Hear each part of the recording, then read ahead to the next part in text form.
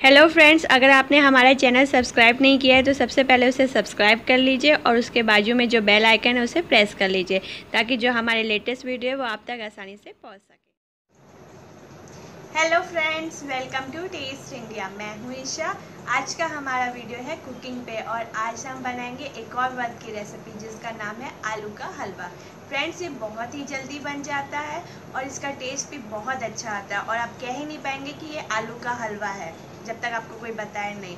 और ये खाने में भी बहुत टेस्टी लगता है और बहुत ही कम इन्ग्रीडियंट से बन के तैयार हो जाता है। आलू का हलवा बनाने के लिए हमने यहाँ पाँच आलू लिए हैं, जिसको हमने उबाल लिया है। चार टेबल स्पून हमने देसी घी का यूज़ किया है। सौ ग्राम पीसी हुई चीनी लिया हमने चीनी को मिक्सी के जार में पीस लिया है। तीन टेबलस्पून हमने मलाई का यूज़ किया, आप चाहें तो खोए का भी यूज़ कर सकते हैं। इससे हलवे का टेस्ट बहुत ही अच्छा आता है। एक चौथाई चम्मच हम इलायची पाउडर लेंगे। थोड़े से काजू थोड़े से पिस्ता और थोड़े से बादाम। ये ड्राई फ्रूट आप अपने हिसाब से ले सकते हैं। सबसे पहले हम आलू को ग्रेट कर लेते हैं।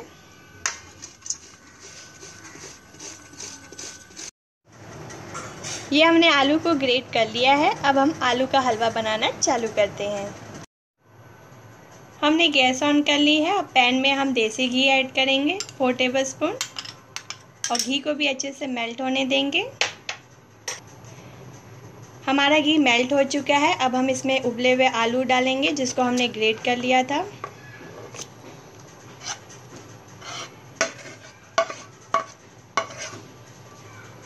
और इनको अच्छे से हम भून लेंगे। इसको हम गोल्डन होने तक अच्छे से भुनेंगे। क्योंकि जितना अच्छा भुनेंगे हम आलूओं को, उतना ही अच्छा हमारा हलवा बनेगा। जब भी आप आलू का हलवा बनाएँ तो आप ध्यान रखेंगे कि नॉन स्टिक पैन का ही यूज़ करें।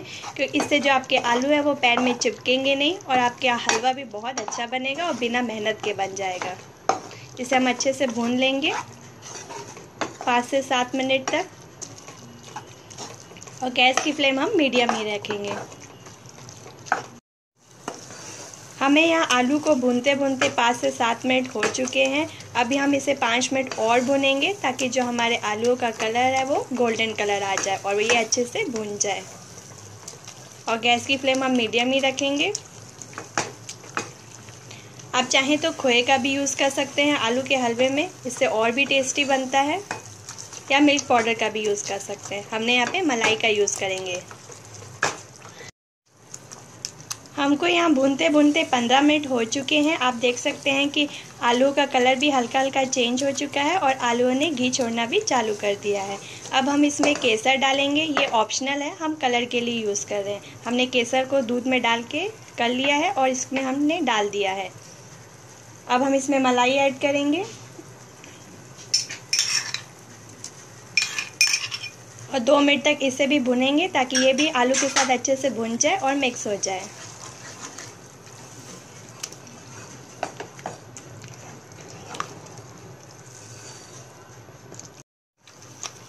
अब दो मिनट हो चुके हैं, हमारी मलाई भी अच्छे से भुन चुकी है। अब हम इसमें चीनी ऐड करेंगे।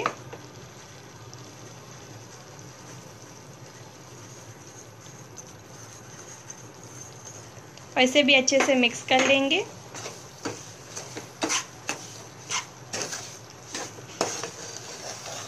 और इसे दो से तीन मिनट तक भून लेंगे, ताकि ये भी आलूओं के साथ अच्छे से मिक्स हो जाए, और जो इसका पानी है, वो भी अच्छे से सूख जाए। ये हमारा चीनी का पानी भी अच्छे से सूख चुका है। अब हम इसमें डालेंगे ड्राई फ्रूट्स। ये अब अपनी चॉइस के डाल सकते हैं।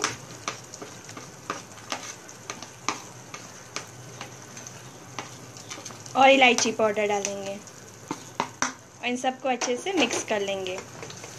अगर आप कम घी खाना पसंद करते हैं तो जब भी आलू का हलवा भून जाए तो आप उसमें से घी को अलग कर सकते हैं। इन सब चीज़ों को अच्छे से मिक्स कर लेंगे। यह हमारा वर्त के लिए आलू का हलवा बन के रेडी हो चुका है, बहुत ही अच्छा बनता है। आप भी इसे ज़रूर ट्राई करें फ्रेंड्स ये बहुत ही टेस्टी और यमी बनता है। अब हम गैस की फ्लेम ऑफ़ कर देंगे और इसे सर्विंग बॉल में निकाल लेंगे। ये हमारा आलू का हलवा बन के तैयार हो चुका है। बहुत ही अच्छा बना है और बहुत ही टेस्टी बना है। आप भी उपास में इसे ज़रूर ट्राई करें। अगर आपको ये हमारी रेसिपी पसंद आए तो हमारे चैनल को लाइक और सब्सक्राइब करना ना भूलें। Thank you